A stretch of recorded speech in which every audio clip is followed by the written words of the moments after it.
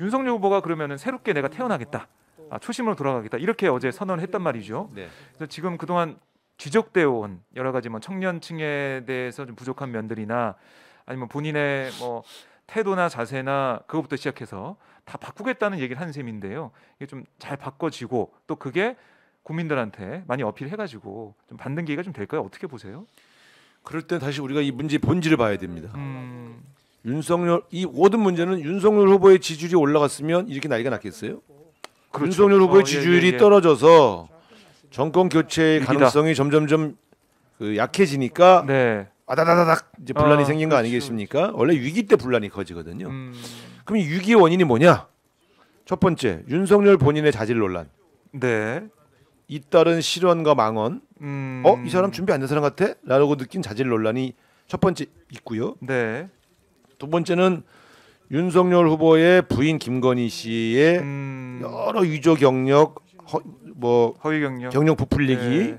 이런 것들에 대한 공정과 상식이라고 아. 하는 가치의 이, 이 말하자면 파괴. 파괴. 이게 음, 이제 윤석열 후보의 대표 이미지였는데 그렇죠. 조국 장관 집어넣고 살아있는 권력 잡는다 막 어 이 사람 강직하다 이렇게 했는데 어 음, 자기 부인은 음, 온갖 불법 탈법을 네. 다 했네. 근데 이 양반이 그걸 감쌌잖아요. 형사적 문제 없다고 하던데요. 어이 뭐다다 어, 이 불법도 아니고 그다음에 이 저 다 허위는 아니지 않느냐? 아, 예. 그럼 일부 허위가 있다는 건데 일부 허위를 반성을 해야지 음, 다 허위는 아니지 않느냐라고 해서 허, 허위가 아닌 걸 감싸주는 것은 아, 그 뭐냐 불법은 아니란 소리인데 네. 그게 이제 법 전문가들이 하는 얘기죠.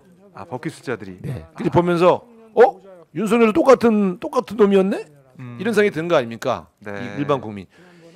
세 번째가 윤석열 선대위를 둘러싼 윤석열 후보의 리더십 문제. 리더십. 김종인, 음, 이준석 이 두 사람과의 문제를 못 푸는 걸 보면서 네. 아니 같은 편 내부도 못 풀면서 어떻게 대통령을 하지? 아, 근데 이 세 가지 지지율 하락의 원인인 이세 가지가 다 윤석열 후보와 관련된 거예요. 자질, 음, 친인척, 선- 리더십. 네. 그러니까 이 세 가지가 바뀔 가능성이 있느냐? 음, 그걸 봐야. 이거를 예. 스타일을 좀 바꿔서 아, 예, 예를 들면 약간 이미지 메이킹 새로 하고 음, 그런다고 해결된 문제냐? 자, 네. 김건희 씨 문제 어떻게 털 거냐? 안 털었어요? 요양 간다고. 이준석 대표 문제 해결 아직, 아직 도 안 되고 있잖아요. 네. 이 리더십 문제, 관계잖아요. 관계 맺음. 음, 본인 자질이야 뭐 어떻게 써준 대로 읽으면 되니까 네. 그거는 좀 감출 수 있겠지만 아하. 예, 이- 이재명 후보와 TV 토론 가는 순간 끝납니다.